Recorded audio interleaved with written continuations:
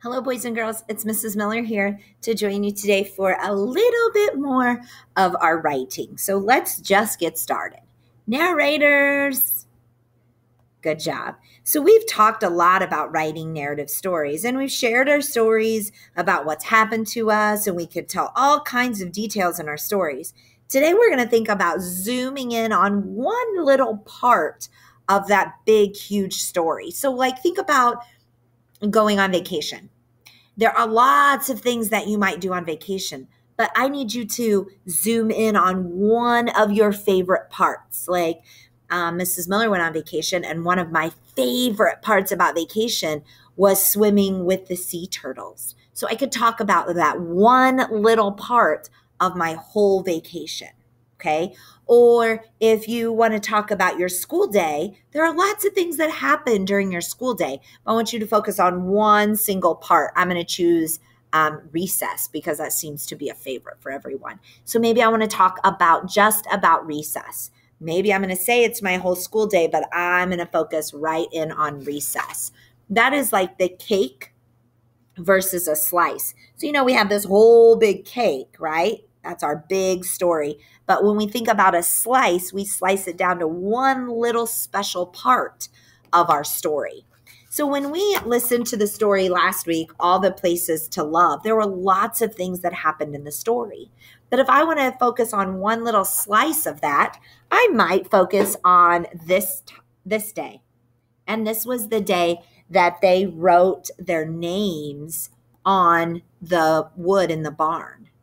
And so maybe that's the part I want to focus on. And so that little piece is what I want to talk about from this story. So we have a whole big story, but we slice it down into one little section, thinking about your big cake to one little slice. So, um, when we write about just one moment of the story, we're able to tell a lot of detail that might have been left out from before. So, you know, like if you think about going on vacation, you could say, I swam in the ocean and I swam with the turtles and I did this and I did this and I did this. And you just kind of list everything out. But when you focus on one little thing, you're able to talk a lot about that one thing. So that slice, you're able to give some details and make people really excited about that part of your story. So today I want you to um, tell a story that, um, or tell, I'm going to tell a story about what happened to me. So last weekend I went to the store. That would be my cake or my big moment. But I want to tell you about one little slice from that cake. I want to tell you about one little slice of going to the store.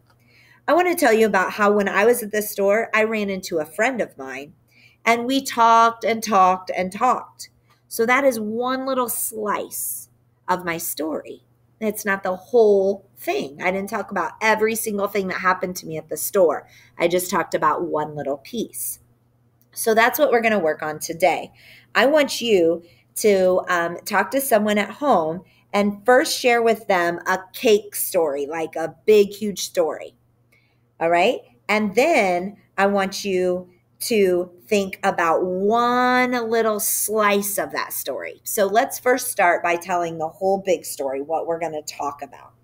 So I'm going to give you my example, and then I'll give you a moment to give me your example. My is going to be going on a family vacation to the beach. So that's my cake. That's my whole big story. What's your cake? All right, good. Now, let's focus in on one little slice of that. My little slice is going to be swimming with the sea turtles. So, I'm going to talk about swimming with the sea turtles. I'm not going to talk about everything that happened on my vacation. I'm going to talk about swimming with the sea turtles. What are you going to talk about?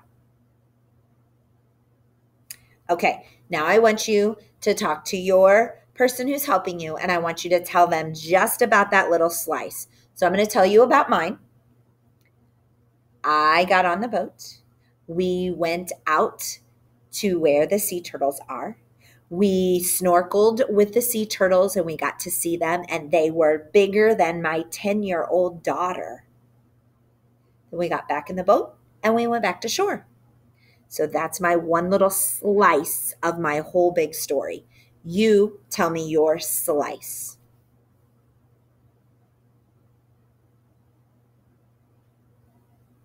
All right, very good. All right, so today I want you to practice writing about that slice. Now remember, you can still use your first, next, and last, or your beginning, middle, and end.